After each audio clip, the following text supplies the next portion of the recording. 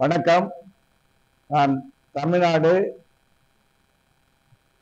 அகில இந்திய ஓய்வூதிய நல சங்கத்தினுடைய தலைவர் கே. கனகராஜ் என்னோடு எங்களுடைய சங்கத்தினுடைய பொதுச் செயலாளர் ஆர். கிருஷ்ணமூர்த்தி துணை பொதுச் செயலாளர் திரு. எஸ். பரமசிவம் எங்கள் சங்கத்தினுடைய சண்டமண்டல நிர்வாகிகள் சகோதரி பத்மினி உள்ளிட்ட நாங்கள் இங்கே பங்கேற்றிருக்கிறோம்.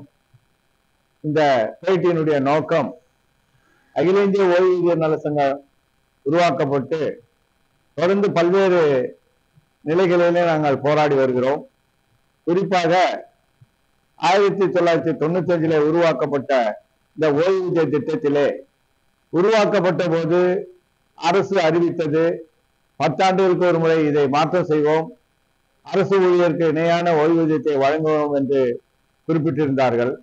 ஆனால் இன்றைக்கு ஏறக்குறைய இருபத்தி ஏழு ஆண்டுகள் ஆகியும் கூட எந்த விதமான பெரிய மாற்றங்கள் உருவாக்கப்படவில்லை. அரசு ஊழியருக்கு இணையான ஓய்வூதியம் வழங்கப்படவில்லை. நாம் தொடர்ந்து போராடியதன் விளைவாக ரெண்டாயிரத்தி பதிமூன்றாம் ஆண்டு அன்றைக்கு மத்திய அமைச்சர் அமைச்சரவையில் இருந்த யூபிஏ கவர்மெண்ட்ல பிரதமராக இருந்த திரு மன்மோகன் சிங் அவர்கள் குறைந்தபட்சம் ஓய்வூதியம் ஆயிரம் ரூபாய் வழங்கப்படும் என்ற உத்தரவாதத்தை தந்தார்கள். அதற்கான நடைமுறைகள் ந- நடைபெற்றன.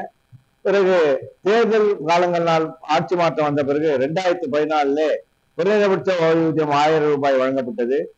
இந்த ஓய்வூதியம் அனைவருக்கும் கிடைக்கப்படல. பல்வேறு காரணங்களை கூறி அனைவருக்கும் வழங்கப்படாமல் பெருமதியான தோழர்கள் இந்த பென்ஷனை பெற தகுதி இல்லாதவர்களாக இன்றைக்கு இருந்து கொண்டிருக்கிறார்கள். இன்றைய கால சூழ்நிலையில் நியூக்ளியர் வேர்ல்டு இந்த நவீன உலக வாழ்க்கையில ஓய்வூதியர்கள் அனைவரும் பிள்ளைகளை சார்ந்திருக்க வேண்டிய கட்டாயத்துல இருக்கிறோம். ஒரு மருந்து மாத்திரைக்கு கூட வெறும் ஆயிரம் ரூபாயோ அல்லது ஐநூறு ரூபாயில இருந்து ரெண்டாயிரம் ரூபாயோ பென்ஷன் கிடைத்தால் அது வந்து எந்தவித பயன்பாடும் இல்லாத பயன்பாடு அற்ற ஒரு ஓய்வூதியமாகவே இருந்து கொண்டிருக்கிறது. தொடர்ந்து நாங்கள் கடந்த ஒன்பது ஆண்டுகளாக ஓய்வூதிய உயர்வு வழங்கப்பட வேண்டும் என்பதற்காக தொடர்ந்து பல்வேறு போராட்டங்கள். இந்தியாவின் பல்வேறு பகுதிகளிலே இந்தியாவின் தலைநகர டெல்லியிலே பல்வேறு போராட்டங்கள் கோரிக்கைகள் வலியுறுத்தி பல்வேறு நிகழ்ச்சிகள் நடத்தி கொண்டிருக்கிறோம். ஆனாலும் மத்திய அரசு கடந்த ஒன்பது ஆண்டுகளாக கேலா காதினராய் இருந்து கொண்டு எவ்வித மாற்றங்களையும் கொடுக்காமல் எவ்வித உயர்வையும் வருங்க வழங்காமல் ஏமாற்றி வருகிறார்கள். எல்லாவற்றுக்கும் மேலாக ஒரு சில வழக்குகள் நடந்து அந்த வழக்கின் மூலமாக உச்ச நீதிமன்றத்தில் தீர்ப்பு வழங்கப்பட்டதன் பிறகு ஹையர் ஆப்ஷன் பென்ஷன் என்று வழங்குகிறோம் என்று சொல்லி ஏறக்குறைய இந்தியாவில் உள்ள எழுபத்தி மூணு லட்சம் ஊழியர்களில ஒரு பதினஞ்சு லட்சம் பேரை தனியாக பிரித்து விட்டார்கள். எங்களுக்குள்ள இந்த ஒற்றுமையை பிளவுபடுத்தி விட்டார்கள். அந்த உச்ச நீதிமன்ற உத்தரவையாவது அமுல்படுத்தினார்களா என்று சொன்னால் இதுவரையில் அமுல்படுத்தவில்லை. பல்வேறு காரணங்கள் பல்வேறு தகவல்களை கேட்டுக்கொண்டு இழுத்தடித்துக் கொண்டிருக்கிறார். குறிப்பாக ஆப்ஷன் லெட்டர் கொடுக்கணும்ன்றாங்க. ஆப்ஷன் லெட்டர் யார் கொடுக்கணும்? யார் ஓய்வூதியம் பெறுகிறாரோ யார் வந்து ஹையர் ஆப்ஷன் பென்ஷனுக்கு விருப்பப்படுகிறாரோ அவர் கொடுத்தாலே போதும். ஆனால் இபிஎஃப்ஓ என்ன சொல்கிறதுன்னு சொன்னால் உங்க நீங்க வேலை செய்த நிறுவனத்திலேயும் நீங்களுடைய ஆப்ஷன் லெட்டர் கொடுக்க வேண்டும் வழங்க வேண்டும் என்று குறிப்பிடுகிறார்கள். நான் ஒரு ஓய்வு பெறுகின்ற போது என்னுடைய எல்லா தகவல்களும் சென்ட்ரல் பிஎஃப் கமிஷனுக்கு வழங்க- வழங்கப்பட்டுள்ளது. ஆகவே நான் என்றைக்கு வேலைக்கு சேர்ந்தேன் என்றைக்கு வெளியேறினேன் நான் எவ்வளவு கான்ட்ரிபியூஷன் செலுத்தினேன் எல்லா தகவல்களும் அங்க இருக்குது. ஆனாலும் கூட இந்த காலதாமதப்படுத்துவதற்கும் இழுத்தடிப்பதற்கும் இந்த நிறுவனத்திலிருந்து ஆப்ஷன் கேட்கிறாங்க பல்வேறு ந- நிலைகள்ல தமிழ்நாட்டில் அல்லது இந்தியாவில் இருக்க பல்வேறு நிறுவனங்கள் க்ளோசர் ஆகியிருக்கு. பல்வேறு நேரம் பல்வேறு தகவல்கள் இல்லாம இருக்கு. ஆகவே இதெல்லாம் இந்த நிறுவனத்துல எம்ப்ளாயர் கிட்ட இருந்து ஆப்ஷன் கேட்கிற முறையை முதல்ல தவிர்க்கணும். அதை அதை தவிர்த்து விட்டு எளிமையாக்கி யாரெல்லாம் தகுதி உள்ளவர்களா இருக்காரோ யாரெல்லாம் பணம் செலுத்த தயாரா இருக்கிற அவளுக்கு ஓய்வூதியத்தை ஈட்டி கொடுப்பதற்கான முயற்சி எடுக்கிறோம் குறிப்பாக நம்முடைய பிரதான கோரிக்கை என்ன என்று சொன்னால் குறைந்தபட்ச ஓய்வூதியம் ஒன்பதாயிரம் ரூபாய் வழங்க வேண்டும். இந்த ஒன்பதாயிரம் ரூபாயை நாம ஏன் கேட்கிறோம்னு சொன்னா ஏழாவது ஊதியக்குழு பரிந்துரையின்படி குறைந்தபட்ச ஓய்வூதியம் அரசு ஊழியர்களுக்கு ஒன்பதாயிரம் ரூபாய் வழங்கப்படுகிறது. ஆகவே இபிஎஃப் ஓய்வூதியர்களுக்கும் நாமெல்லாம் கான்ட்ரிபியூஷன் செலுத்தி இருக்கோம். நமக்கும் ஒன்பதாயிரம் ரூபாய் வழங்க வேண்டும் என்ற கோரிக்கையை முன்னிலைப்படுத்தி இருக்கோம் அது மாத்திரமல்ல ரெண்டாயிரத்தி பதிமூணாம் ஆண்டு கோஷியாரி கமிட்டி அறிவிப்பின்படி மூ- மூவாயிரம் குறைந்தபட்ச ஓய்வூதியம் மூவாயிரம் ரூபாய் வழங்க வேண்டும். அது பஞ்சப்பொழிவுடன் வழங்க வேண்டும் என்று குறிப்பிட்டிருந்தார்கள். அது அதை கணக்கீடு செய்தால் கூட இன்றைக்கு பத்தாயிரம் ரூபாய்க்கு மேல நமக்கு பென்ஷன் வழங்க வேண்டிய கட்டாயத்தில் இருக்கு. ஆனா நிறுவனம் ஏமாற்று இபிஎஃப்ஓ நிறுவனமும் தொழிலாளர் துறையும் நம்மளை ஏமாற்றுகிறார்கள். மத்திய அரசு கேலா காதினராக இருந்து வருகிறது. நாம கேட்கிற போதெல்லாம் ஒரு தகவல் அனுப்புறாங்க. என்னன்னு சொன்னா உங்களுக்கு பென்ஷன் கொடுக்கறதுக்கு எங்களுக்கு பணம் இல்லை. நான் நிதியமைச்சர்ல இருந்து கேட்கிறோம். ஆனா கொடுக்க மாட்டாங்கன்னு சொல்றாங்க. இப்ப சமீபத்துல முப்பது ஜூன் முப்பது வந்து இபிஎஃப்ஓல இருந்து எனக்கு ஒரு கடிதம் வந்திருக்கு. C K Kanagaraj president employees pension scheme nineteen ninety five all India pensioner welfare association என்ற இது தகவல் கொடுத்து ஒரு கடிதம் அனுப்பு அதுல என்ன சொல்றேன்னா notice of nationwide agitation to fulfil the needs of pensioners EPF ninety five record அப்படின்னு போட்டிருக்கேன் ஏன்னா நாம என்ன முடிவெடுத்திருக்கோம்னா இந்தியா முழுவதும் இருக்கிற இரண்டு மத்திய அமைப்புகள். All India EPF coordination committee மற்றது நேஷனல் கோஆர்டினேஷன் கமிட்டி இந்த ரெண்டு அமைப்புகளில் நம்ம அங்கம் வைப்பதனால அவர்கள் மூலமாக நமக்கு பென்ஷன் வழங்காத மத்திய அரசை கண்டித்து நான் வந்து மிகப்பெரிய போராட்டத்தை இந்தியா முழுவதும் நடத்துவது. குறிப்பாக வருகின்ற பதினைந்து ஆகஸ்ட் பதினைந்தாம் தேதி பதினைந்தாம் தேதி உண்ணாவிரதம் இருப்பது என்ற முடிவு எடுத்திருக்கோம். அந்த முடிவை அமுல்படுத்த போறோங்கிறது நமக்கு தகவல்கள் கிடைச்சு அதுக்கு எனக்கு கடிதம் அனுப்பிச்சிருக்காங்க. நீங்க அஜிடேஷன் பண்ண போறீங்க. Please refer to letter noted nineteen four two thousand three நாம வந்து நாலாம் மாசத்துல பத்தொன்பது நாலுலயே கடிதம் அனுப்பிச்சிருக்கோம். அந்த கடிதத்துக்கு பதில் அனுப்புறாங்க. இதை நிறைய பேருக்கு என்னன்னு சொன்னா கோச்சாரி கமிட்டியினுடைய பரிந்துரை நீங்க அமல்படுத்த சொல்லியிருக்கீங்க. ஹை பவர் மானிட்டரி கமிட்டியினுடைய கமிட்டியை அனுப்பினேன். எல்லாத்தையும் நாங்க வந்து உங்களுடைய இதெல்லாம் பார்த்து நாங்க லேபர் டிபார்ட்மெண்ட்டுக்கு நாங்க தகவல் அனுப்பிச்சிருக்கோம். நிதி பற்றாக்குறை இருக்கிறது. அது நிதி அமைச்சருக்கு தகவல் அமைச்சிருக்கு. அவங்க இதுவரையில எங்களுக்கு பட்ஜெட்டரி சப்போர்ட் வழங்கல. ஆகவே எங்களால நீங்க கேட்கிற உயர்ந்தபட்ச பென்ஷன் இது குறைந்தபட்ச பென்ஷனை அமுல்படுத்த இயலாதுன்ற ஒரு கடிதத்தை அமைச்சிருக்காங்க. சோ இந்த கடிதத்துக்கு அப்புறம் தான் நாம நம்ம இந்தியா முழுவதும் அது பெரிய போராட்டம் நடத்த வேண்டும் என்ற முடிவுக்கு வந்திருக்கோம். அப்போ பட்ஜெட் சப்போர்ட் பண்ண வேண்டியது இந்தியாவில் உள்ள பல்வேறு நிறுவனங்களுக்கு மத்திய அரசு பணம் ஒதுக்கீடு செய்கிறது. தன்னுடைய நிதிநிலை அறிக்கையில ஒதுக்கீடு செய்து. எல்லாவற்றுக்கும் மேலாக லட்சம் ஒரு லட்சம் கோடி ரெண்டு லட்சம் கோடி என்று கடன் வாங்கிய பெருமுதலாளிகளுக்கு தள்ளுபடி பண்றாங்க. அதானி அம்பானிக்கு நம்முடைய பணத்தை எடுத்து இன்வெஸ்ட்மெண்ட் பண்றாங்க. அந்த பணங்களை எல்லாம் சரியாக ஏழை எளிய மக்களுக்கு இந்த நாட்டில் வாழ்கிற ஏ- எழுபது வயதுக்கு மேலான வயதுடைய மக்களுக்கு பாதுகாப்பு தர வேண்டும் என்ற ஒரு நல்ல உணர்வு மத்திய அரசுக்கு இருக்குமானால் இப்படி தள்ளுபடி பண்ற பணங்களை எல்லாம் நம்முடைய ஓய்வூதியர்கள் கொடுத்தா நமக்கு தேவையானது சில ஆயிரம் கோடிகள் தான். அந்த சில ஆயிரம் கோடிகளை ஒதுக்கீடு செய்தால் நிச்சயமாக ஒன்பதாயிரம் ரூபாய் வழங்கப்படும். ஆனா இந்த அரசு வழங்குவதற்கான எந்த முயற்சி எடுக்கல. தான் வருகின்ற பதினைந்தாம் தேதி இந்தியா முழுதும் நாம வந்து மிகப்பெரிய போராட்டம் நடத்துவது என்ற கட்டாயத்துக்கு வந்திருக்கோம். அது பதினைஞ்சாம் தேதி பதினேழாம் ஏன்னா சுதந்திர தினமா இருக்கிறதுனால ஒவ்வொரு மாநிலத்துக்கு ஏற்ற சூழ்நிலைகளுக்கு தகுந்த மாதிரி நம்ம போராட்டங்கள் உண்ணாவிரதங்கள் நடத்துவது என்று முடிவெடுத்திருக்கோம். குறிப்பா நமக்கு இந்த ஒன்பது ஆண்டுகளாக எந்தவித பென்ஷன் உயர்வும் வழங்காத மத்திய அரசை கண்டித்து protest by EPS ninety five pensioners அதுல என்ன சொல்ல போறோம்னா no increase no pension pension வந்து நமக்கு உயர்வு வழங்கவில்லை என்றால் no vote to central government rulers மத்திய அரசினுடைய ஆட்சி செய்கிறவர்களுக்கு ஓட்டளிக்க மாட்டோம் என்ற தீர்மானத்தை எடுத்திருக்கிறோம். இது அகில இந்திய அளவில் எல்லா இடத்திலும் வெளிப்படுத்தியிருக்கோம். எல்லா மாநிலங்களும் இந்த தீர்மானங்கள் எடுக்கப்பட்டிருக்கு ஆனா மத்திய அரசு கவனத்தில் கொள்ள வேண்டும். எழுபத்தி மூணு லட்சம் ஓ- ஓய்வூதியர்களுடைய ஓட்டை கணக்கிட்டா குறைஞ்சபட்ச ஒரு ரெண்டுல இருந்து மூணு கோடி ஓட்டுகள் இருக்கு. இந்த ஓட்டுகளை இந்த ஆளுங்கட்சியோ இல்ல மற்ற கட்சிகள் எந்த கட்சியை தேர்தல் இருக்கிறோ அவருக்கு வழங்கப்பட வேண்டும் என்றால் ஓய்வூதியர்கள் எழுபத்தி மூணு லட்சம் ஓய்வூதியர்களுக்கு ஓய்வூதிய உயர்ந்த உயர்த்தி வழங்குவதற்கு நாங்கள் ஏற்பாடு செய்வோம் என்ற உத்தரவாதத்தை கொடுக்க வேண்டும். அதே நேரத்தில் மத்திய அரசு உடனடியாக ஓய்வூதியத்தை உயர்த்தி வழங்க வேண்டும். அதுக்கான நிதியை பட்ஜெட்டரி சப்போர்ட்டை மத்திய அரசு வழங்க வேண்டும் என்று நாங்கள் கேட்டுக்கொள்கிறோம். அப்படி இல்லை என்று சொன்னால் எங்களுடைய போராட்டம் தொடரும். வாழுகின்ற மத்திய அரசுக்கு வாக்களிக்க மாட்டோம் என்ற தீர்மானத்தை நிறைவேற்றியிருக்கோம் இந்த நேரத்தில் ஒரு கோரிக்கையை நம்முடைய அகில இந்திய ஓய்வூதிய நல சங்கத்தினுடைய மாவட்ட மத்திய சங்க உறுப்பினர்களுக்கும் மற்ற தோழர்களுக்கும் வைக்கிறோம். ஏனென்று சொன்னால் அகில இந்திய அளவில் நடைபெறுகின்ற இந்த போராட்டத்தில் தமிழகத்தில் உள்ள அனைத்து மாவட்டங்களிலும் குறிப்பிட்ட நாள்ல பதினைந்து அல்லது ப- பதினைந்தாம் தேதிக்கு நாங்க பர்மிஷனுக்கு போயிருக்கோம். அப்படி கிடைக்கலனாலும் பதினேழாம் தேதி ஒவ்வொரு மாவட்டத்தில் உள்ள கலெக்டர் ஆபீஸுக்கு முன்னால உண்ணாவிரத போராட்டம் நடத்துவது என்று தீர்மானித்திருக்கோம். அதை நடைமுறைப்படுத்துவதற்கு அனைத்து மாவட்ட பொறுப்பாளர்களும் பொறுப்படுத்திக் கொள்ள வேண்டும் என்று கேட்டுக்கொள்கிறோம். ஏனென்று சொன்னால் நாம பல தோழர்கள் மத்தியில ஒரு அதிர்ப்பு இருக்குது. கடந்த ஒன்பது ஆண்டுகளாக போராடி கொண்டிருக்கோம். இதுவரை மத்திய அரசு எந்த விதமான மாற்றங்களை கொண்டாக்கவில்லை அப்படிங்கிற ஒரு அயற்சியை சு- அதாவது பலவீனத்தை உருவாக்கி இருக்குது இவ்விதமான சூழ்நிலை வந்து தொழிலாளர்கள் விடுபடும் தொடர்ந்து போராடினால்தான் வெற்றி கிடைக்கும். ஒரு மரத்தை நட்டால் அதுக்கு தொடர்ந்து தண்ணீர் ஊற்றி பராமரித்தால் தான் அது காயோ கனியோ தரும். ஆகவே நம்முடைய போராட்டங்களை வலுப்படுத்தி அனைத்து அமைப்புகள் அனைத்து இதுகளெல்லாம் நீங்க இதுல போராடணும்னு கேட்டுக்கோங்க குறிப்பா நம்ம இந்த போராட்டங்களை தமிழகத்தில் உள்ள நம்முடைய all India EPS ninety five all India pensioners association Chennai pensioners association அதுக்கப்புறம் all India pensioners association TNCC then வந்து தமிழ்நாடு பென்ஷன் அசோசியேஷன். இந்த நான்கு அமைப்புகளும் கூட இருக்கிற அனைத்து சகோதரத்துவ சங்கங்களும் இணைந்து போராட்டங்களை முன்னெடுப்பது என்று நாம் முடிவெடுத்திருக்கிறோம். அந்த போராட்டங்களை இன்றைக்கு ஈவினிங்குள்ளார போலீஸ் பர்மிஷன்ல என்ன கிடைக்குது என்ன தகவல் வருதோ அதை வந்து உங்களுக்கு எல்லாம் தெரிவிப்போம்.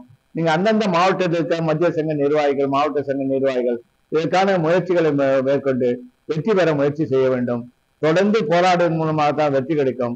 கடந்த ரெண்டாயிரத்தி ஏழுல ஆரம்பிக்கப்பட்ட நம்முடைய சங்கம் தொடர்ந்து போராடியதன் காரணங்கள் தான் ரெண்டாயிரத்தி பதினாலுல குறைந்தபட்ச ஓய்வூதியம் ஆயிரம் ரூபாய் பெறுவதற்கான வெற்றியை பெற்று அதற்கு உதவியவர்கள் காங்கிரஸ் கட்சியை சேர்ந்த மன்னை மதியழகன் மத்திய அமைச்சராக இருந்த சுதர்சன் நாச்சியப்பன் மத்திய அமைச்சராக இருந்த நாராயணசாமி மற்றும் இவர்கள் எல்லாம் மன்மோகன் சிங் அவர்களுக்கு இந்த பிரச்சனையை கொண்டு சென்று நமக்கு கார்கே போன்றவர்களையும் சந்தித்து இந்த முயற்சிகளை எடுத்தார்கள். அதுதான் கிடைத்தது. அது மட்டுமல்லாமல் ஒவ்வொரு தொழிலாளரும் those who are completed 20 years service they are eligible for two years weightage அப்படிங்கிற உத்தரவின் அடிப்படையில நாம இரண்டு ஆண்டுகளுக்கான வெயிட்டேஜை பெற்று தந்திருக்கோம் அதுக்கு பெருமுயற்சி எடுத்துக்கொண்டு காங்கிரஸ் இன்றைக்கு காங்கிரஸ் கட்சியினுடைய தேசிய தலைவராக இருக்கிற கார்கே அவர்கள் தொழிலாளர் நல அமைச்சராக இருந்த போதுதான் இந்த உத்தரவு பெறப்பட்டது.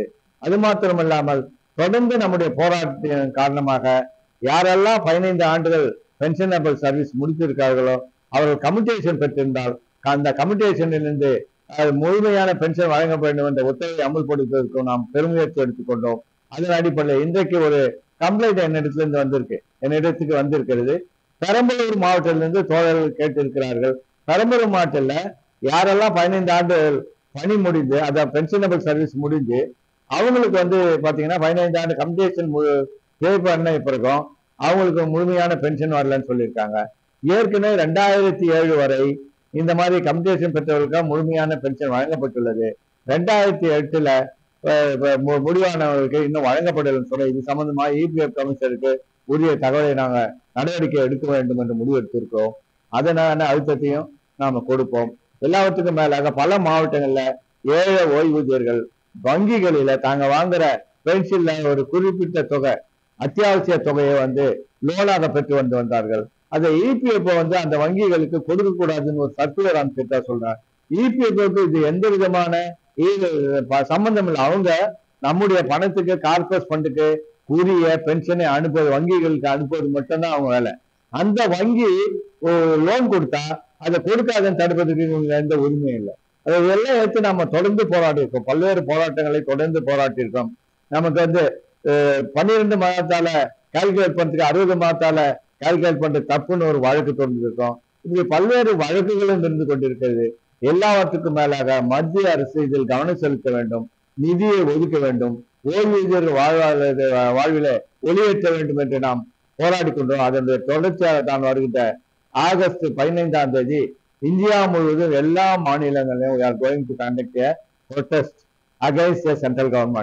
so நம்ம எல்லா மாநில அமைப்பாளர்களையும் கேட்டுக்கொள்கிறோம்.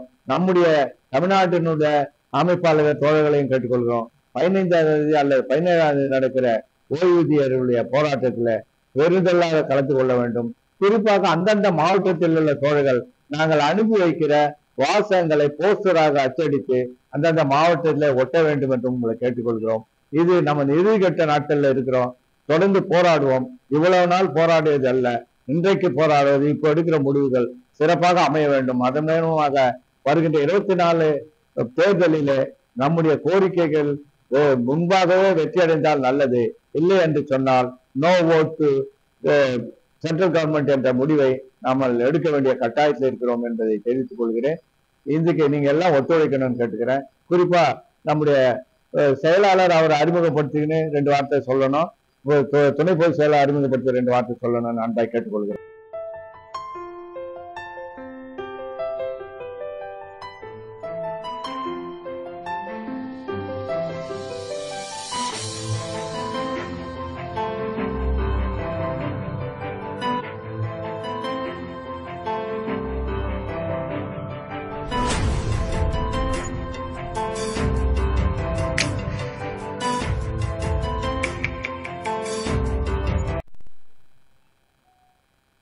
எனது பெயர் ஆர். கிருஷ்ணமூர்த்தி.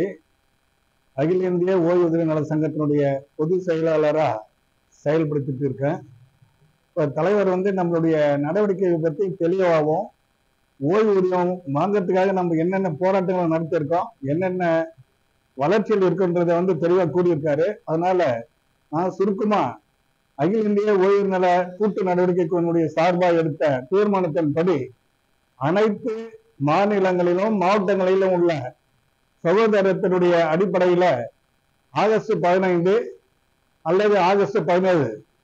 இந்த ஆகஸ்ட் பதினைந்துல சுதந்திர தினம் அப்படின்னு வர ஒரு என்ன வர்றதுனால நமக்கு வந்து காவல்துறையினுடைய அனுமதி கிடைக்கல அப்படின்னு சொன்னா ஆகஸ்ட் பதினேழாம் தேதி வந்து நாம் அந்த போராட்டத்தை ஒரே நேரத்துல எல்லா மாவட்டத்திலையும் குறிப்பா தமிழ்நாட்டில் இருக்கிற எல்லா மாவட்ட அமைப்புகளிலையும் அங்கிருக்கின்ற சகோதர தோற்றங்களோடு அமைப்புகளோடு சேர்ந்து கட்டாயம் இதை வந்து இருபது இன்ச்சு முப்பது இன்ச்சு அளவுல சூடோட்டிய no high pension no vote ruler central government அப்படின்ற ஒரு வாசகத்தை நம்ம முன்னிலைப்படுத்தியிருக்கோம். இதை தவறாம மாவட்டத்தில் இருக்கிற அனைத்து அமைப்பாளர் அமைப்பு பொறுப்பாளர்களும் தவறாமல் இது வந்து தனக்கு முதல் முயற்சி அல்லாமல் தொடர் நடவடிக்கை நடவடிக்கை எடுக்கிற முயற்சியா கருதி இது சிறப்பான ஒரு நடவடிக்கையால் அமைகின்றதுனால தமிழ்நாடு அனைத்து கூட்டு நடவடிக்கை குழுல வந்து முதலிடம் பெற வகையில நீங்க வந்து இந்த வேலையை கட்டாயம் தேர்வின்றி நம்ம மத்திய அமைப்பினுடைய ஆலோசனையின்படி தவறாமல் இந்த பணியை உணவருத்தனுடைய நடத்திட அன்புடன் உங்களை வேண்டி கேட்டுக்கிறேன் அதே நேரத்தில் நீங்க நடத்துற இந்த போ உண்ணாவிரத போராட்டம் சீரோட்டுகள் போராட்டம் இதெல்லாம் வந்து போட்டோ எடுத்து என்னுடைய அமைப்புக்கு மத்திய அமைப்புக்கு அனுப்பினால் இதை நாங்கள் அகில இந்திய கூட்டு நடவடிக்கை குழுவுக்கு அனுப்பி நம்முடைய தமிழகம் சிறப்பாக செயல்படுறது என்பதை எடுத்து காட்டுறதுக்கு ஒரு காரணமாக இருக்குன்னு கேட்டுக்கிட்டு சிறிதளவும் தொழிலின்றி உங்களுக்கு என்ன ஆலோசனை கே- வேண்டும் என்றாலும் எங்களை அணுகி கேட்கும் போது நீங்கள் தொழிலின்றி இதை நடத்தி வெற்றி வாகை சூழ வேண்டும் என்று அன்புடன் கேட்டுக்கொள்கின்றேன் நன்றி வணக்கம்.